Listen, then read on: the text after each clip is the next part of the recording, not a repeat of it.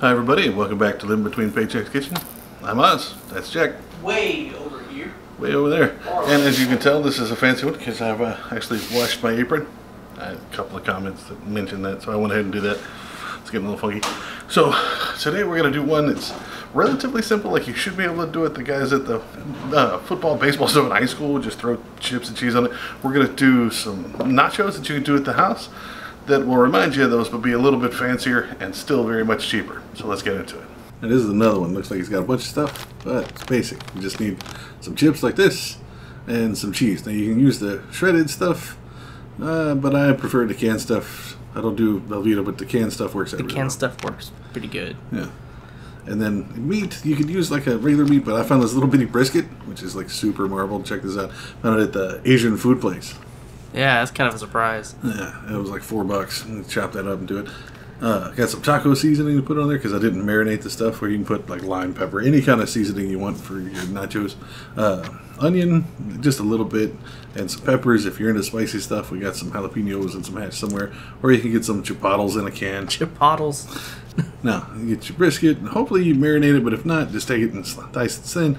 Be a little chewy, but as long as you cook it and make it small enough, you don't have to worry about it. Yeah, won't be an issue. Yeah, try to make it about as thin as that. You don't have to be as long as that. I think I ended up cutting them again in half. Just Yeah. make them smaller. Cut it however you want. But yeah. Make the whole slab of brisket if you feel like you need need it that way. Uh, also, if you don't have this, like regular hamburger stuff will work too. Yeah. And you don't even have to put Yeah. meat on it at all. It's a completely optional thing. Very much a Texas thing, I guess. Yeah. Like, um, nachos better have meat on it, or it's just chips and cheese. Chips and cheese.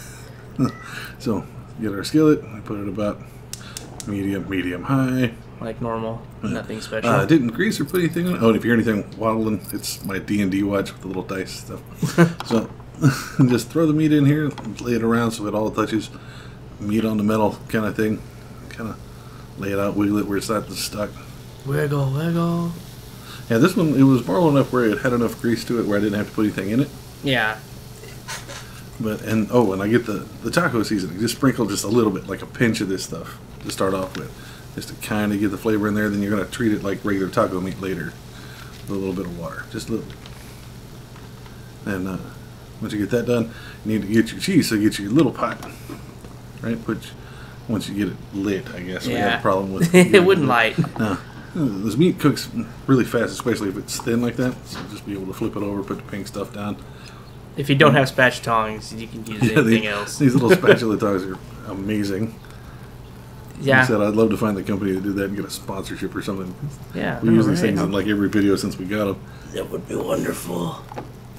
But we got them at the local like craft store, so we got to go hunt those down. Oh, lime Now, pepper. I put a little lime pepper on here while it's cooking, just to give it a little bit of flavor, and hopefully the lime will break down the brisket so it's not as chewy. Now your cheese, careful on your fingernails, And that the stove is lit. which is only like medium because you don't want it too high. yeah, it's cheese. You'll burn the crap out of it if you have it too high. Right now, this was the spicy cheese. Like we didn't need anything to it, anything like that. You don't have to. Like they sell like a mild version, so you don't have to get the Yeah. spicy stuff. It's just we're fans of it. We did mm. put. Now be sure to use a. Oh yeah. Now we added some jalapenos. We chopped them up kind of small, not tiny, but just to give it a little more flavor, other than just Cheese. cheese, like Something or, or cheese byproduct or whatever Yeah. the heck. No that is. powder seasonings. Just Yeah, yeah. It's, minced jalapeno. Ugh, that's just thick cheese. But stir it around. Be sure to get those jalapenos in there. Keep your heat at about medium, and just let it warm up. Now, uh, we sliced jalapenos in here just in case you want them afterwards. Again, completely optional. Yeah. But around here, it's not nachos if it ain't. Got. Yeah, if you don't have jalapenos on your nachos, you're doing it wrong. Yeah. Now you can make it thin. You can leave it as big around as this, or you can take it, have it, and quarter it, make it smaller. Depends on a the amount of people you have, the amount of peppers you have, and what you like. Like I like the big round pieces. I, I can go either way with the peppers. No, we get the uh, cheese grater, and this thing's a savior too. I'm glad we found we had this thing somewhere. Just take it, and get the onion. We're only going to use about a third of that, so like a fifteenth of an onion, like not that much.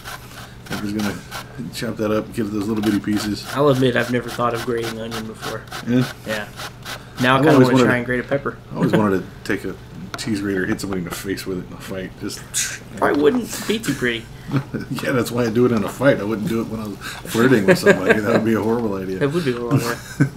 now you got it where it's nice and brown. You get you. I, I guess I measured it out. It was about two tablespoons worth of water, and then you're going to use another half of the taco seasoning. So it's going to leave you with about a third of the seasoning in there.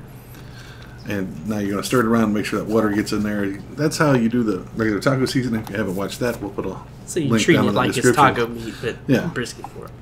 You do the same thing with like chopped hamburger meat. We only used half the brisket in this one here, so you could have added the whole thing. Done just to show you how it's done. Wave it around, make sure that stuff gets in the water. It gets it everywhere. It'll soak up that taco seasoning and make the, all the meat taste that way. Now let it sit until it thickens and starts bubbling again. Usually takes like two minutes. Be sure to stir your cheese occasionally so it doesn't get too hot on the bottom. See how it starts to get thick right there? Like see how it's all goopy? That's what you're looking for. Once it gets that, just go ahead and turn it off and pull that off. Don't put it on anything. Now we're going to show you how to plate it.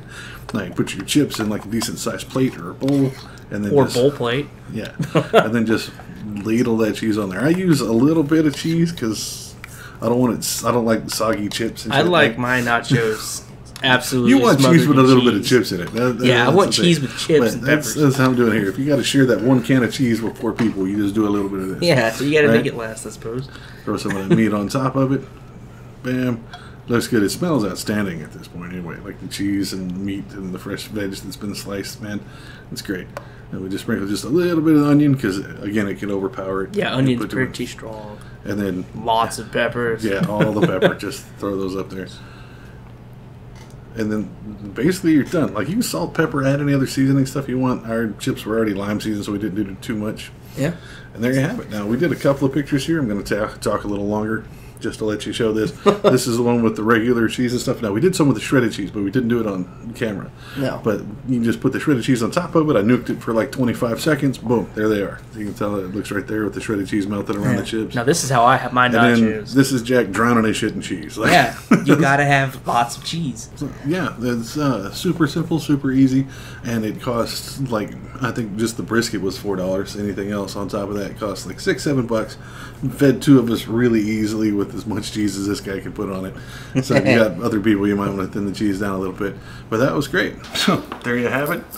Straightforward, really simple nachos. Try it with the house. Tell us if you do it a little differently, and uh, put it down in the comments. Be sure to like, share, subscribe, ring the little bell.